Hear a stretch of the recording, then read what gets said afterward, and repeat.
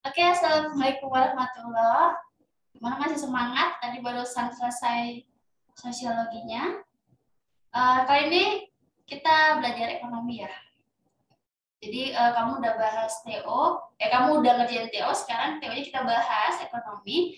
Oke, untuk mempersingkat waktu, kita mulai saja dengan bersama mengucapkan Bismillahirrahmanirrahim. Uh, nanti kalau misalnya kamu kurang paham, seperti biasa, kamu bisa bertanya dan uh, seperti biasa kakak udah membuat PPT, kamu tinggal memfoto atau screenshot uh, penjelasannya. Oke? Okay?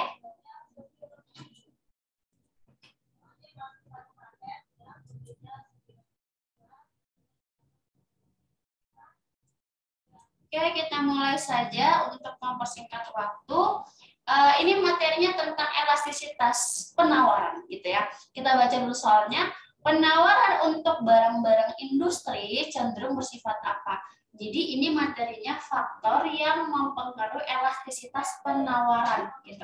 Di mana uh, yaitu berdasarkan jenis produknya gitu. Apakah produknya itu produk uh, pertanian atau produk industri? Nah, kalau dia produk pertanian berarti bersifat inelastis kalau produk industri bersifat elastis. Kenapa bisa berbeda seperti itu? Karena kalau produk pertanian disebabkan karena produsen tidak mampu memberikan respon yang cepat terhadap perubahan harga. Misalkan beras, terjadi kenaikan harga beras. Seben kalau kita lihat produsen itu kan seneng ya kalau harga barang-barang itu naik gitu kan ya. Namun untuk barang produk pertanian ketika harga barang naik, produsen itu tidak bisa langsung cepat merespon kenaikan harga. Kalau harga naik kan maunya kita cepat banyak memproduksi kayak gitu kan ya. Tapi di pertanian nggak bisa. Kenapa? Proses dalam pertaniannya lama. Kayak beras aja butuh waktu tiga bulan dulu atau uh, kurang lebih tiga bulan ya untuk panen gitu kan ya. Walaupun dia harga yang mahal nggak bisa apa-apa karena uh, ya itu karena nggak bisa dia ya harus mau nanam dulu nunggu panen dulu berapa bulan kemudian gitu jadi kayak uh, tidak terlalu pekat terhadap perubahan harga atau disebut sebagai inelastis. Nah, sedangkan kalau barang industri, kalau terjadi kenaikan harga suatu barang, dia terus langsung respon cepat gitu uh, ketika terjadi perubahan harga. Misalkan contoh, terjadi kenaikan harga barang-barang secara tiba-tiba contoh kasus lah mungkin yang bisa kita pahamin ya. Dulu itu waktu masa-masa pandemi awal, tiba-tiba permintaan dari masker itu tinggi yang menyebabkan harga masker tiba-tiba naik drastis. Nah, sehingga para produsen dengan cepat memproduksi masker gitu kan ya karena dalam bidang industri dia cepat tinggal beli bahan bakunya tinggal diproduksi. Jadi sangat peka terhadap perubahan harga untuk produk industri atau disebut juga jenisnya adalah elastis. Jadi untuk barang industri cenderung bersifat apa katanya? Berarti tadi bersifat apa? Elastis. Karena peka terhadap perubahan harga.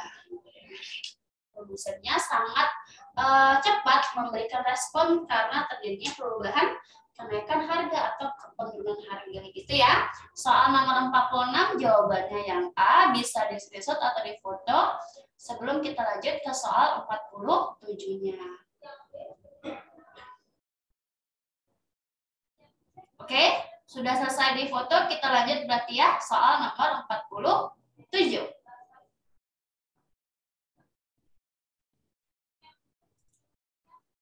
Oke.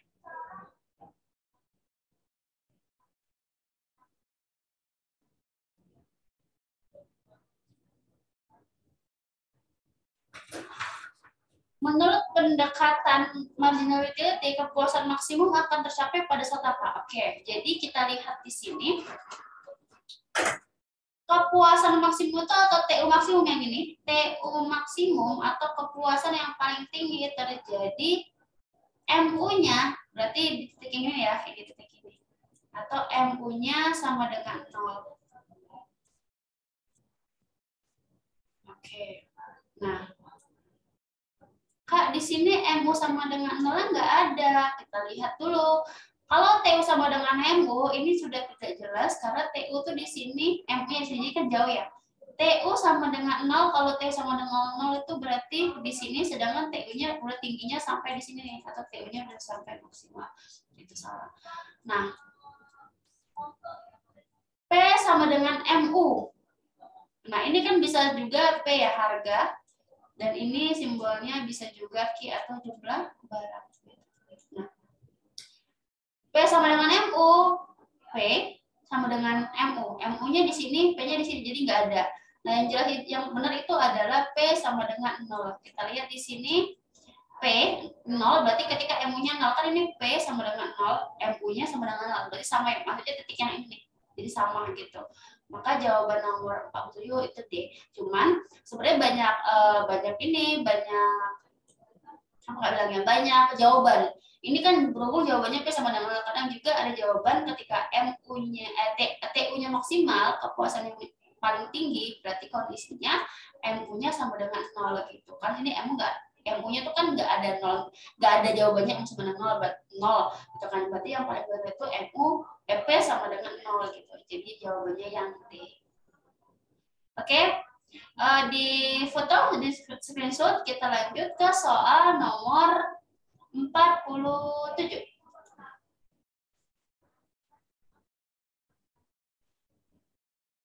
Ini 47 kurva permintaan. Ingat kalau kurva permintaan itu dari sisi konsumen. Konsumen itu ngapain? Yang membeli barang dan jasa. Jadi katanya kurva permintaan terhadap mobil merek Honda akan bergeser ke kanan. Jadi kalau ada kata-kata bergeser ke kanan berarti permintaannya bertambah gitu ya. Kalau kurvanya bergeser ke kanan berarti permintaan bertambah. Jadi pernyataan soal nomor 48 ini menyatakan terjadi kenaikan permintaan mobil merek Honda. Kenapa katanya? Apa sebabnya gitu. Kalau kita lihat di kurvanya kurvanya seperti ini. Jadi awal-awal itu harganya itu uh, harga merek Honda, mobil merek Honda tuh di P, P yang kakak lingkarin, dan jumlahnya tuh di yang kali lingkarin ini titik keseimbangan di S1. Terjadi kenaikan har terjadi kenaikan permintaan gitu kan ya. Berarti uh, kenaikan permintaan dari Q ini ke kanan gitu kan ya. Maka harganya akan naik juga dan kurvanya bergeser ke kanan, ke kanan berarti keseimbangannya sudah berubah atau bertambah atau bergeser ke kanan gitu kan. Nah, ini kurvanya seperti ini. Yang ditanyakan adalah apa sih yang menyebabkan kurva permintaan bergeser ke kanan gitu. Nah, pernyataan uh, faktor pertama adalah harga merek mobil lain naik. Misalkan nih, ini harga mobil merek Honda, ada harga mobil, ada harga mobil merek B. Nah, harga mobil merek B naik. Jadi kan permintaan mobil merek B-nya akan turun sedangkan permintaan mobil merek Honda-nya akan naik. Sehingga kurvanya bergeser ke kanan. Berarti eh, benar ya gitu. Ini harga barang komplementer turun, misalkan harga bensin turun gitu. Pendapatan konsumen naik, jumlah pendapatan meningkat, dan selera naik dan juga ini kakak salah bikin ya seharusnya prediksi harganya bukan turun ini salah ini salah. Seharusnya prediksi harga itu naik jangan turun. Ya kakak salah tulis salah. Nah kita lihat optionnya. Yang A kenaikan harga mobil merek Honda. Nah kalau ini kan yang dipertanyakan soal kan merek Honda. Kalau dia bilang harga ini kan harga merek Honda berarti harga barang itu sendiri Nah, salah kenapa kalau harga barang itu sendiri akan menyebabkan pergerakan di sepanjang kurva. Jadi pernyataan yang poin A ini adalah jawaban untuk pergerakan kurva, makanya dia salah. Terus kenaikan harga baja sebagai bahan baku. Ingat bahan baku itu faktor yang mempengaruhi penawaran. Sedangkan yang dipertanyakan soal permintaan ini, permintaan berarti udah pasti salah. Kalau kita lihat optionnya, kenaikan harga baja sebagai bahan baku akan menyebabkan kurva penawarannya bergeser ke kiri. Baru yang D, biaya produksi. Lagi-lagi ada kata-kata biaya produksi ini menyebab faktor-faktor yang mempengaruhi penawaran. Dan kalau kita lihat uh, di, uh, panjangnya ini, Daya produksi mobil merek Honda turun ini akan menyebabkan kurva penawarannya bergeser ke kanan yang ditanyakan permintaan. Pendapatan masyarakat mengalami penurunan. Ini permintaan, tapi karena mengalami penurunan pendapatannya berarti kurva permintaannya bergeser ke kiri. Jawabannya itu yang C. Kenaikan harga mobil merek Toyota atau terjadinya kenaikan barang substitusinya. Ya. Jadi nomor 48 jawabannya yang C. Bisa? Kita lanjut. Kalau bisa, jangan lupa lagi kakak selalu ingatkan di foto, di screenshot. Jadi kalau kamu lagi ada jiwa-jiwa semangat belajar, kamu ada materinya gitu ya. Oke, kita lanjut soal nomor berapa? 49. Pergerakan di sepanjang kurva kemungkinan produksi atau kurva PPF disebabkan oleh jadi ini kakak bikin kurvanya kurva PPF atau kurva kemungkinan produksi. Yang maksud dengan kurva kemungkinan produksi itu adalah bagaimana eh, semua sumber daya yang dimiliki oleh gini-gini. Kurva PPF itu berarti kurva yang menunjukkan tingkat produksi yang paling efisien. Nah, ini maksud dengan paling efisien di sini adalah si produsen mampu menggunakan sumber daya yang dia miliki untuk menghasilkan barang dan jasa se uh, semaksimal mungkin lah gitu istilah semaksimal mungkin. Nah, kayak gini, misalkan ya, misalkan ini kita kakak ya, kakak memproduksi baju, ini sumbu vertikalnya baju, sumbu horizontalnya celana. Jadi kakak memiliki sumber daya untuk memproduksi baju dan celana. Nah ini yang kurva yang cekung ini adalah kurva PPF-nya atau kurva kemungkinan produksi. Artinya di sepanjang kurva PPF ini telah terjadi namanya efisiensi produksi. Jadi efisiensi produksi itu si produsen mampu menggunakan seluruh sumber daya yang dimilikinya, kayak gitu kan ya untuk menghasilkan tingkat output yang maksimal. Nah, jadi titik A, ini kalau bikin titik A, titik B itu kalau tambahin deh, atau nggak usah lihat ya. Jadi titik A, misalkan kamu memproduksi tiga baju, ini angkanya akan ngasal ya, dan satu celana. Titik B, kamu produksi satu baju atau tiga celana gitu. Mau di titik A, titik B ini adalah produksi yang paling efisien gitu. Jadi misalkan nih kakak bikin di sini titik hmm, E,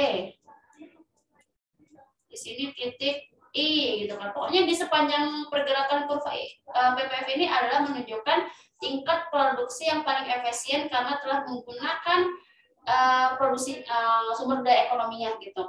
Nah, titik E ini, eh, C maaf titik C ini adalah titik produksi yang belum optimal. Kenapa dia bilang belum optimal? Karena produsen belum menggunakan seluruh sumber dayanya untuk menghasilkan barang dan jasa. Jadi kayak dia punya faktor produksinya banyak, tapi dia gunakan sedikit sehingga dia menghasilkan output yang sedikit pula maka dia bilang belum optimal. Nah, sedangkan di titik D ini adalah produksi yang tidak mungkin terjadi. Kenapa tidak mungkin terjadi? Karena dia tidak memiliki cukup banyak faktor produksi uh, untuk sampai produksi di titik D. Jadi dia nggak cukup gitu, nggak cukup sampai ke titik D. Makanya dia bilang titik D itu adalah titik produksi yang tidak mungkin terjadi. Titik C, titik produksi yang belum optimal. Titik A, B, E, I, atau titik di sepanjang pergerakan kurva PPF itu menunjukkan produksi yang paling efisien. Gitu ya. Nah, kita kembali ke soal pergerakan. Pergerakan itu berarti di sepanjang kurva PPF ini yang A, B, E, I itu namanya pergerakan di sepanjang kurva PPF disebabkan oleh apa? Jadi apa? Kalau di sepanjang kurva ini berarti dia telah menggunakan uh, sumber daya ekonomi secara efisien. Kita cari jawabannya yang mana? Jawabannya itu yang B. Efisiensi penggunaan sumber daya ekonomi. Gitu ya. Nomor 49 jawabannya yang Oke, sudah difoto, kita lanjut lagi soal nomor 50.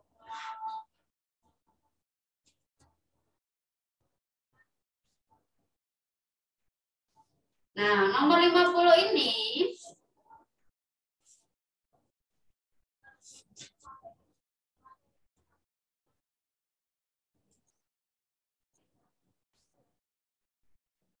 menurunnya biaya per unit. Nah, biaya unit ini disebut per unit ini disebut juga dengan AC minimum atau biaya rata-rata.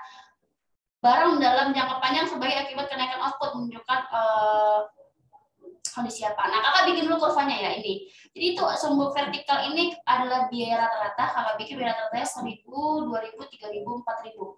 Ya kan? Terus yang sumbu horizontal ini adalah outputnya. Outputnya 10. Berarti anggaplah ketika dia memproduksi 10, berarti biayanya 3000. Misalkan kayak ini. Kelihatan ya?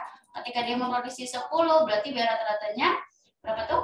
E, eh, 3000. Memproduksi 20 eh, biar rata-ratanya 2000 memproduksi 30 biar rata-ratanya tiga eh memproduksi 30 biar rata seribu gitu ya sampai di 540 ini naik naik naik gitu. Nah, jadi kondisinya ini ada ketika biar rata-rata turun nih, biar rata-rata turun misalkan dari 4000 ke 3000 ke 2000 ke 1000 gitu kan. Sedangkan outputnya lagi naik, naik dari 10, naik ke 20, dari 20 naik ke 30. Nah, kondisi ini disebut juga sebagai economy of scale. Nah, kondisi yang kedua, biaya rata-ratanya lagi naik walaupun dia banyak memproduksi. Misalkan produksi dari 30 ke 40. Dari 40 produksi nambah ke 50, tapi biaya rata-ratanya lagi naik. Nah, kita kembali ke soal. Jadi kalau di, menurunnya biaya rata-rata, kalau kita lihat menurunnya biaya rata-rata, maka kalau kita lihat kurvanya berarti jawabannya apa?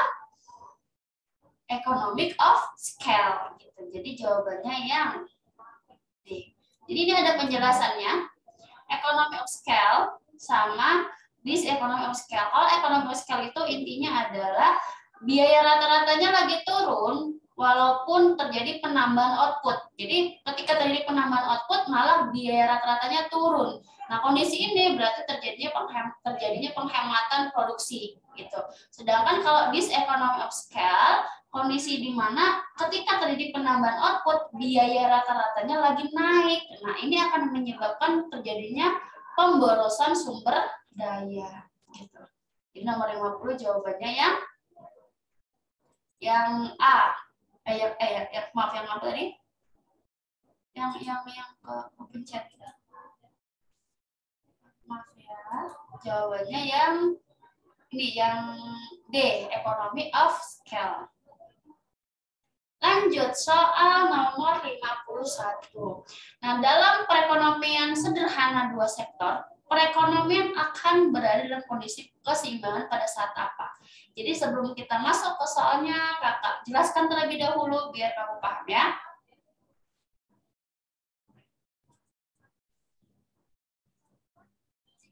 Pendapatan nasional eh, keseimbangan adalah tingkat pendapatan yang menyeimbangkan seluruh pengeluaran agregat yang dilakukan oleh pelaku ekonomi. Pelaku ekonomi itu ada rumah tangga konsumen, rumah tangga produsen, rumah tangga negara, masyarakat luar negeri. Nah, pengeluaran dari rumah tangga konsumen disebut juga sebagai konsumsi.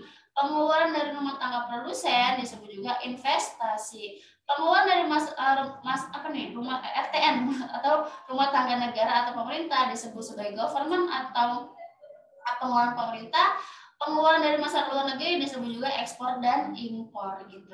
Nah, kita tahu bahwa ada perekonomian terbuka dan tertutup. Kalau terbuka berarti sudah ada kerjasama dengan negara lain, maka disebut juga sebagai perekonomian empat sektor. Nah, keseimbangannya S tambah T, saving tambah tax tambah impor sama dengan investasi tambah government tambah ekspor. Nah ini adalah empat sektor di mana terjadinya uh, interaksi dengan negara lain. Nah perekonomian tertutup ada dua sektor, ada tiga sektor. Kalau yang tiga sektor berarti saving plus tax pajak sama dengan investasi plus dari government. Kalau yang dua sektor ini jawabannya saving sama dengan investasi atau tabungan sama dengan investasi. Nah, kenapa bisa tabungan sama dengan investasi? Gini, kan keseimbangan itu kan Y sama dengan C tambah I dan Y sama dengan C tambah S gitu. Jadi kalau disamakan, ini diturunkan ke bawah ini berarti C tambah I, dan ini C tambah S diturunkan ke bawah juga, yaitu C tambah S. Nah, C-nya dihilangkan. Kalau seperti matematika kan bisa ya dipindahkan ke, ke sisi kiri atau sisi kanan, berarti hilang. Maka yang tertinggal adalah I sama dengan saving atau saving sama dengan investasi. Nah, ini dia perekonomian dua sektor. Gitu, jawabannya yang B. Bisa? Dipahamin? Kita lanjut. Di foto jangan lupa ya. Kita lanjut soal, eh. Kita lanjut, kita lanjut.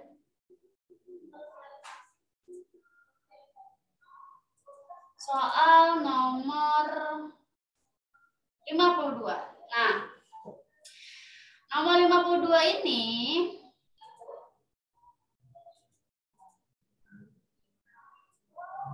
Dalam kondisi resesi, anggaran pemerintah menjadi alat untuk memelihara dan mengupayakan keseimbangan fundamental perekonomian.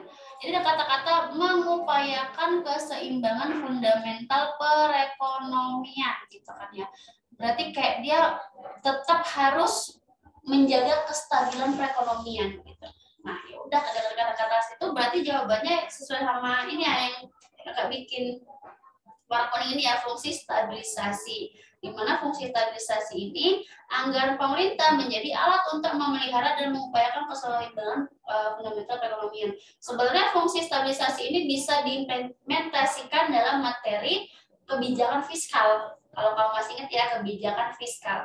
Nah fungsi-fungsinya itu banyak ada fungsi distribusi di mana fungsi distribusi ini kebijakan anggaran dari negara harus memperhatikan rasa keadilan dan kepatutan itu dia fungsi diskusi. Nah fungsi perencanaan APBN di perencanaan APBN menjadi pedoman dalam merencanakan kegiatan ekonomi pada tahun yang bersangkutan. Sedangkan fungsi otorisasi APBN digunakan sebagai dasar oleh pemerintah dalam melaksanakan pendapatan dan belanja negara pada tahun yang bersangkutan. Fungsi alokasi APBN harus diarahkan untuk mengurangi pengangguran dan pemboros sumber daya dan juga untuk meningkatkan efisiensi dan efektivitas perekonomian. Yang terakhir, fungsi dari pengawasan di mana APBN menjadi pedoman untuk menilai apakah kegiatan penyelenggaraan pemerintah sudah sesuai dengan ketentuan yang telah ditetapkan di awal.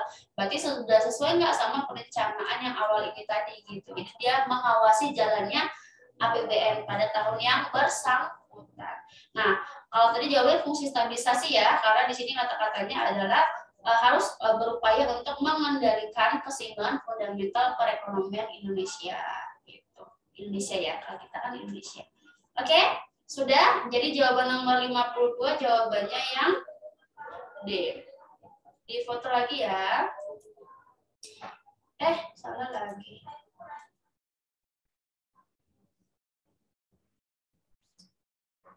Kita lanjut soal nomor uh, 53 gini. Nah ini sebenarnya nanti ada penjelasannya ya, yang A, B, C, D itu ada penjelasannya di slide sel selanjutnya. Tapi ini kakak pasti langsung di slide ini jawabannya gitu.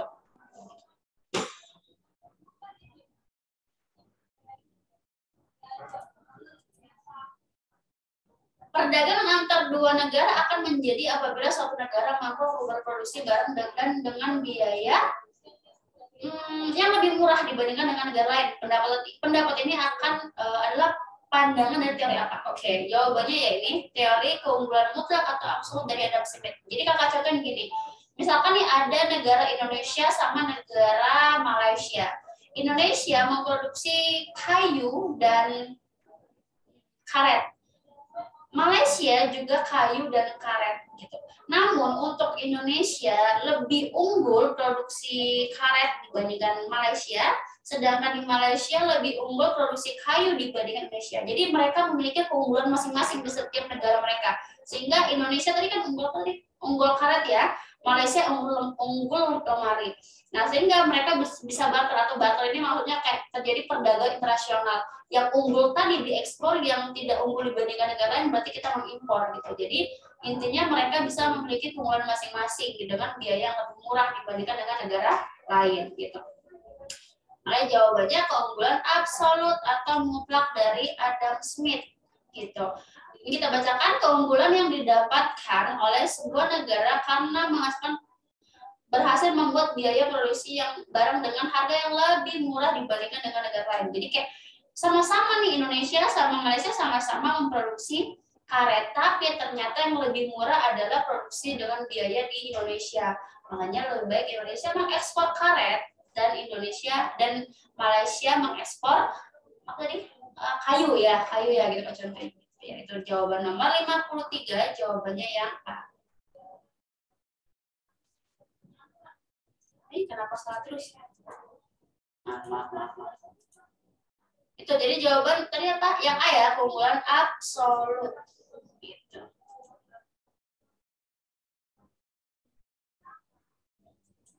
Kita lanjut soal nomor uh, ini ini banyak teorinya teori keunggulan komparatif dari David Ricardo, merkantilisme, kompetitif sama teori HO gitu. Kita mau baca aja kalau ada waktu di rumah.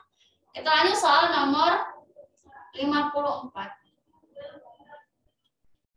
Uh, Rudi seorang karyawan yang bekerja di perusahaan yang diberi kewenangan beliau diberi diberi kewenangan untuk dan tanggung jawab untuk membuat inovasi serta ide-ide baru agar membawa kemajuan dan penghasilan profit bagi perusahaan tempat bekerjanya. Berarti posisi Rudi itu disebut sebagai apa? Jawabannya adalah intrapreneur. Jadi gini, entrepreneurship itu adalah entrepreneur atau pengusaha atau wirausaha yang berada dalam suatu organisasi atau perusahaan. Jadi seorang wirausaha tapi dia berada dalam suatu uh, perusahaan gitu. Jadi kalau dia berada dalam suatu perusahaan itu harusnya bagaimana? Jadi dia uh, jadi seorang entrepreneur itu bukanlah suatu uh, apa namanya? Jadi seorang entrepreneur itu dia tidak dia tidak sebagai pemilik dari usaha tersebut. Jadi kalau dia sebagai pemilik, dia itu hanya bekerja gitu kan ya. Jadi entrepreneur itu berbeda dengan entrepreneur. Entrepreneur itu berarti dia yang bekerja di dalam suatu perusahaan, sedangkan entrepreneur dia yang punya usaha sendiri misalkan kayak gitu. Nah, makanya di sini katakan Rudi sedang bekerja di suatu perusahaan, berarti jawabannya intrapreneurship. Ya, nomor 55 jawabannya yang A. Kita lanjut soal nomor 56. Ini penjelasannya kamu baca lagi. Ini di foto dulu. Udah. Kita baca soal nomor 56.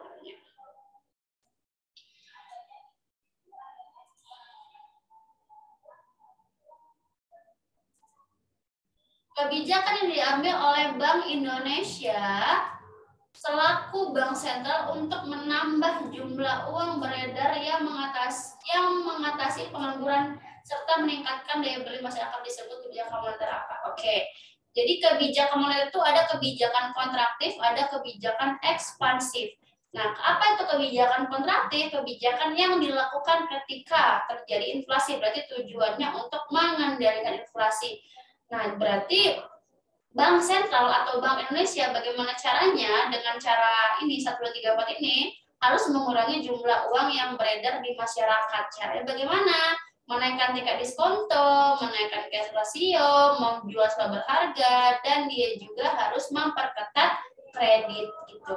Nah, sedangkan kebijakan ekspansif adalah kebijakan yang bertujuan untuk meningkatkan pertumbuhan ekonomi suatu negara, mengatasi deflasi. Deflasi ini kebalikan dari inflasi ya. Inflasi itu harga barang-barang naik, kalau deflasi harga barang-barang malah turun.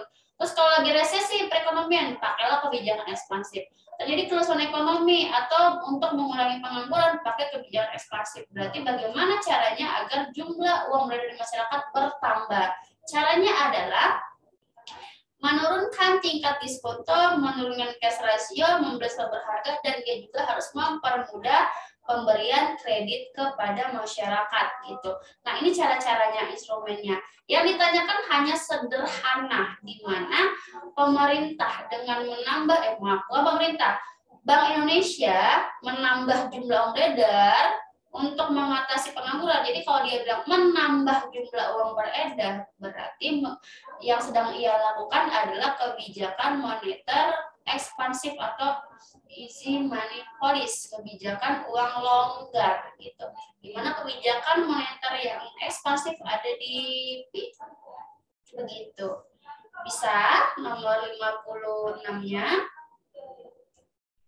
Di foto jangan lupa ya, kita lanjut soal nomor 50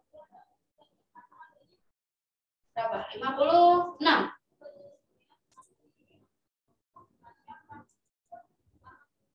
Eh, tadi berapa? Tadi berapa? Tadi 56, sekarang 57 ya.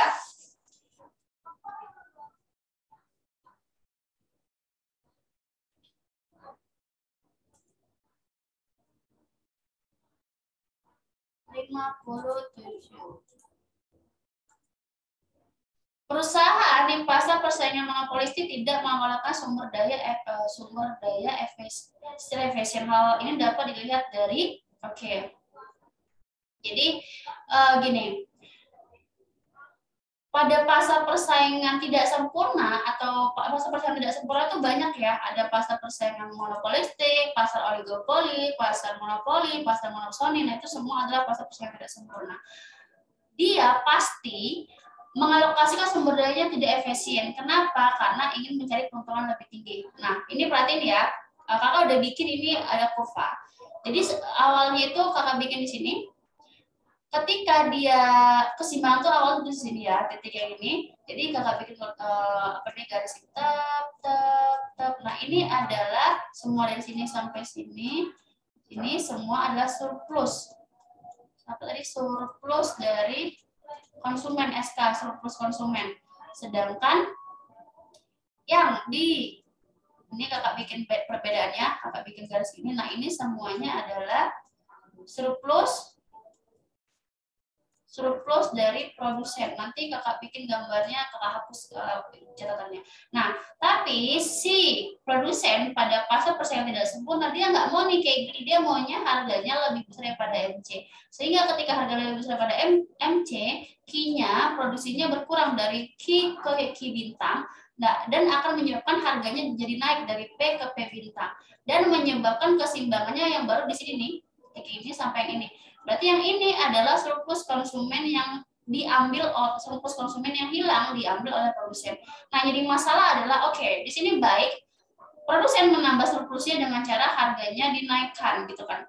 Eh, berarti P lebih besar daripada MC. Tapi jadi masalah kenapa tidak efisien? Karena terjadi nama kondisi yang yang warna kuning ini kondisi dead weight loss atau surplus konsumen dan produsen yang hilang karena telah menggunakan tingkat waktu yang tidak efisien. Nah, karena dead cost inilah disebut juga sebagai tidak efisien. Jadi intinya adalah kenapa kalau yang kalau yang ditanya perusahaan di masa persaingan monopolistik tidak mengalokasikan sumber daya secara efisien, kalau yang ditanya ini jawabannya hanya karena dia uh, melakukan kebijakan di mana harganya itu lebih besar daripada MC. Itu kan ya berarti tidak efisien. Berarti yang E harganya lebih tinggi dari biaya marginal. Nah, kalau yang ditanya dampaknya, salah satu dampaknya terjadi namanya dead cost atau surplusnya hilang. Entah siapa yang menikmati hilang, tidak dinikmati oleh siapa pun atau disebut juga sebagai dead loss. Nah, itulah yang menyebabkan uh, kenapa disebut surplusnya hilang kayak gitu ya. Eh mau, kenapa disebut tidak efisien? Karena ada surplus yang hilang. Apa penyebabnya? Karena pasar tidak sempurna ini melakukan kebijakan harga lebih besar daripada MC. Nah ini cara-cara tanya, ini penjelasannya coba di foto nanti setelah ini kakak hapus bisa kamu foto yang bersihnya juga. Jadi intinya nomor 40 eh 57 jawabannya yang E harga atau P lebih besar daripada MC. Nah, nomor 57 jawabannya yang E. Oke, bisa dipahamin? Ini kakak hapus uh, cara tanya. Nah, ini jawabannya. Tadi jawabannya yang E. Gitu ya. Ini kamu lihat PPT apa namanya gambarnya. Oke, sekarang kita lanjut soal nomor 58. Oke. Nah, nomor 58 ini pajak yang sudah dipungut oleh negara akan digunakan untuk membiayai semua kepentingan umum termasuk di dalamnya untuk membiayai pembangunan sehingga dapat mem dapat membuka kesempatan kerja. Dengan bertambahnya lapangan pekerjaan, maka semakin banyak pula penyerapan tenaga kerja sehingga akan tercipta pemerataan pendapatan. Nah, pernyataan tersebut merupakan fungsi pajak apa? Ini sebenarnya fungsi pajaknya penjelasannya ini ada di uh, slide selanjutnya ya. Tapi ini kakak langsung ke jawabannya aja. Nanti uh, penjelasan fungsi pajaknya itu bisa kamu lihat di uh, slide selanjutnya ini kakak bikin kak fotoin. Eh kakak tampilkan. Jadi jawabannya itu fungsi pajak redistribusi pendapatan. Nah, semua sampai ke kenapa bisa seperti itu gini. Kita kita ke pengertiannya aja ya. Apa tuh yang disebut dengan redistribusi pendapatan? Yaitu pendistribusian kembali pendapatan masyarakat kelompok kaya kepada masyarakat kelompok miskin, baik berupa pajak maupun pungutan lainnya. Kayak pungutan lain itu kayak retribusi kayak gitu. Nah, jadi Eh, ketika masyarakat bayar pajak, pajak itu akan menjadi pendapatan negara. Uangnya akan diolah untuk kepentingan masyarakat uh, umum, lebih misalkan gitu kan. Nah, redistribusi pendapatan ini berarti disalurkan kepada masyarakat kurang mampu. Contohnya dalam contoh ya, contohnya itu akan bikin satu contoh ya. Contohnya pemerintah dengan redistribusi pendapatan program yang dia buat adalah pemberian kredit lunak. Di mana pemberian kredit lunak itu adalah pemberian untuk UMKM eh, yang pemula, maksudnya UMKM yang UMKM itu kan berarti uh, usaha menengah gitu loh. Jadi kayak dia nggak perlu modal banyak-banyak gitu, nggak perlu modal banyak-banyak. Yang penting uh, memiliki apa ya modal gitu. Jadi kalau misalnya kita mau bikin usaha, terus kita nggak punya modal, kalau kita minjem ke retenir kan modal, modalnya kayaknya jadinya apa ya modalnya itu jadi kita mau minjem ke ke rentenir tapi bunganya gede jadi kan kita takut gitu. jadi ketika pemerintah bikin program dengan kredit lunak berarti dianya uh, bisa memiliki modal bikin usaha sehingga ketika dia bikin usaha setidaknya dia dia tidak menganggur gitu kan. Terus ketika dia bikin usaha terus dia usaha lebih gede misalnya gitu dia pasti akan membuka lapangan pekerjaan dan pada intinya pasti akan mengurangi pengangguran kayak gitu. Nah jadi uh, di sini makanya dia bilang untuk bertahap apa nih membuka kesempatan kerja, bertambahnya lapangan pekerjaan. Nah, ini berarti fungsi dari redistribusi pendapatan gitu ya. Nomor 4 58 jawabannya yang D. Kita lanjut soal nomor 59. Ini uh, penjelasannya bisa kamu foto. Sekarang 59.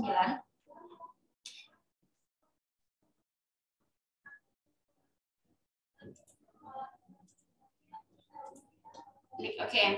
Menurut teori kuantitas uang, efek Fisher, MV sebenarnya PT, inflasi disebutkan oleh apa gitu. Jadi teori kuantitas uang ini, kata efek Fisher ini kata gini, uh, eh, Fisher memasuk, memasukkan unsur kecepatan peredaran uang dan jumlah transaksi atas barang dan jasa sebagai faktor yang mempengaruhi nilai uang. Fisher mengajukan rumus sebagai berikut katanya MV sama dengan PT di mana M itu adalah jumlah uang beredar, V itu kecepatan P itu harga dan T itu adalah jumlah transaksi katanya seperti itu. Jadi uh, inflasi itu kalau kita tahu kan inflasi itu adalah kondisi di mana uh, terjadi kecenderungan kenaikan harga barang dan jasa. Jadi inflasi itu harga barang dan jasa itu naik. Itu intinya ya kalau inflasi itu harga barang dan jasa jadi naik gitu. Nah, di ekonomi pasti selalu ada yang namanya asumsi asumsi ceteris paribus faktor lain dianggap tetap. Kalau kita lihat dari si Irving Fisher ini, atas si Irving Fisher ini, dia bikin rumus MV sama dengan PT. MV sama dengan PT. M itu tadi jumlah uang beredar, V itu kecepatan perputaran uh, uang, terus P itu tingkat harga, dan T itu jumlah transaksi. Nah, asumsinya adalah P, V, V ini dan V dan T. V itu tadi kecepatan peredaran uang, T itu jumlah transaksi dianggap tetap gitu. Asumsinya dianggap tetap gitu. Sehingga uh, yang mempengaruhi harga atau P itu adalah M, jumlah uang beredar. Nah, kalau misalnya kamu tahu ketika jumlah uang beredar di masyarakat banyak, lebih banyak dari jumlah barang, maka akan terjadi namanya inflasi. Tapi kalau jumlah jumlah uang berada di masyarakat lebih sedikit dari jumlah barang, maka terjadi deflasi. Contohnya kayak e, negara, kamu tahu nggak negara yang udah parah banget inflasinya, negara mana itu Zimbabwe ya kan? Bahkan uang tuh kayak ya nggak ada artinya karena saking banyaknya uang beredar di masyarakat sehingga terjadi inflasi. Makanya ketika Indonesia kekurangan uang karena banyak hutang, cara pemerintah itu bukan dengan cara mencetak uang karena mencetak uang sebanyak-banyaknya akan berdampak terhadap uh, apa ya inflasi jumlah di masyarakat meningkat gitu. Nah, jadi di sini intinya kata si Irving Fisher ketika terjadi kenaikan jumlah uang beredar di masyarakat atau semakin banyak jumlah uang beredar di masyarakat, maka itu akan menyebabkan namanya inflasi. Gampangnya kayak gini deh ketika semua orang punya uang banyak di masyarakat berlimpah-limpah gitu kan ya eh, sehingga nanti permintaan akan meningkat. Ketika permintaan meningkat berarti harga barang-barang juga akan meningkat gitu. Makanya uh, inflasi itu atau harga naik itu dipengaruhi oleh M atau kenaikan jumlah uang beredar gitu. Kalau kita lihat soal lagi kembali ke soal Menurut teori kualitas uang Irving Fisher, MV sama PT ini rumusnya, inflasi disebabkan oleh apa? Oh, berarti inflasi itu harga naik ya. Berarti disebabkan karena kenaikan M atau kenaikan jumlah uang beredar di masyarakat. Jawaban nomor 59 adalah A.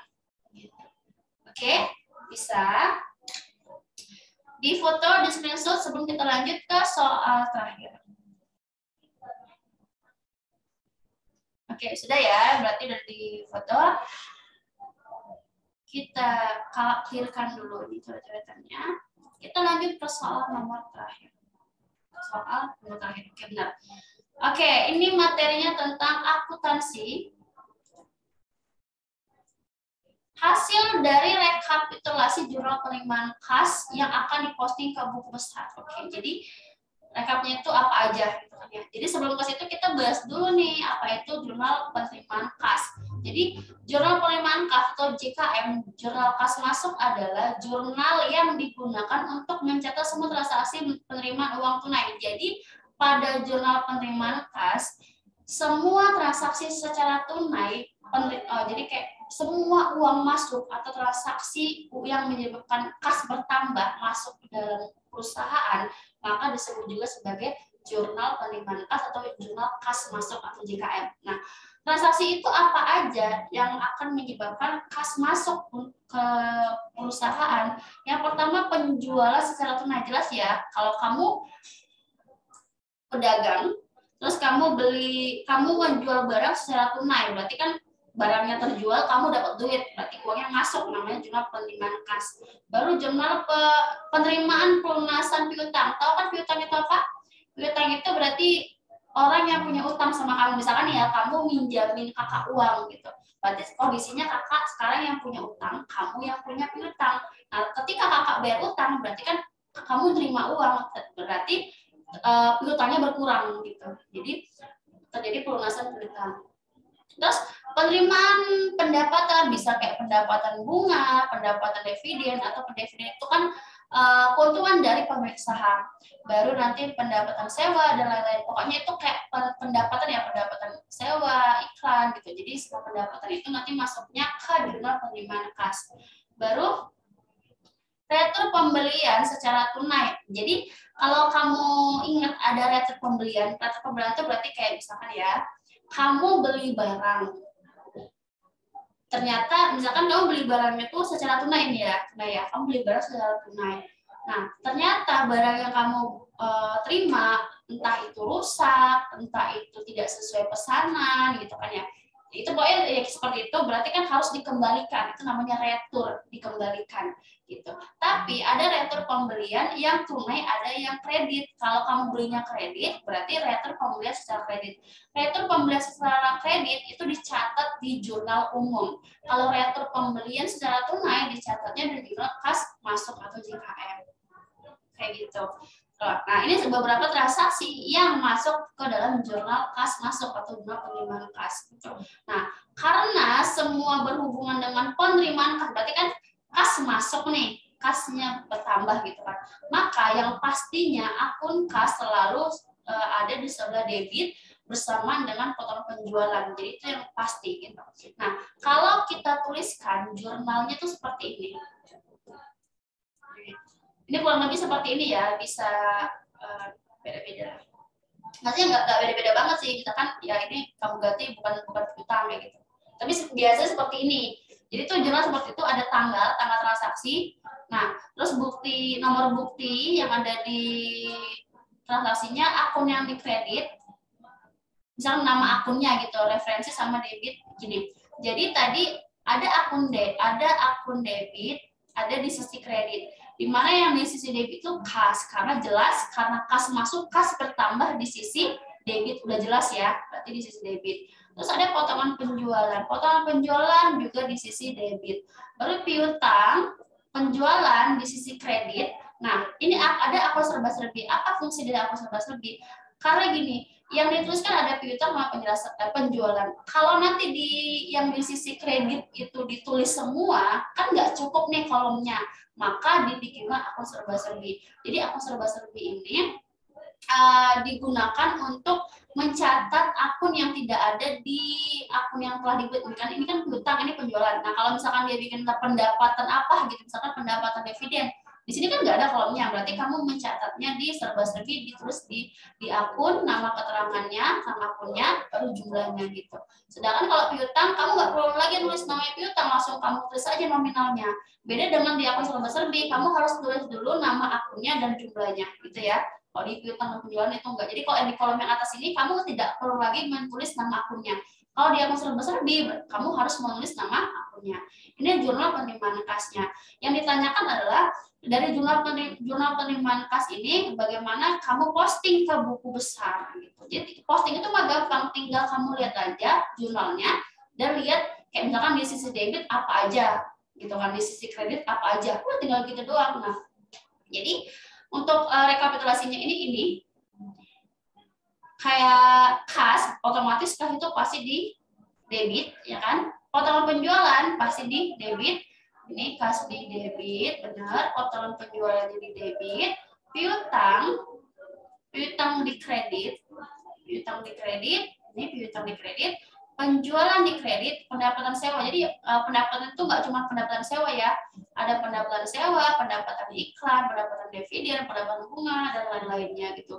Uh, dimasuk di akun kredit, tepatnya ditulis di akun serba serbi kayak gitu ya.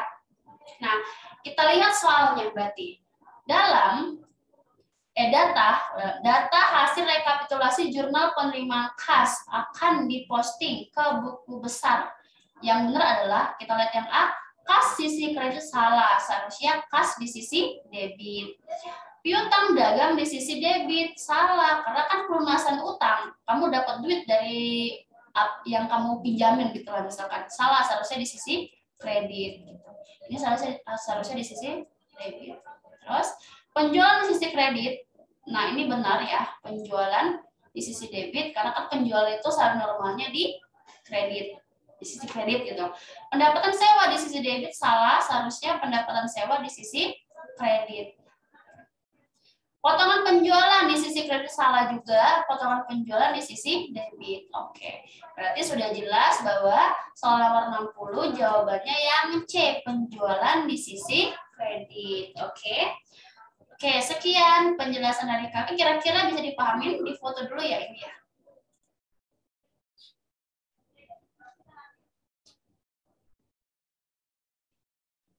Oke, kakak lihatkan ya.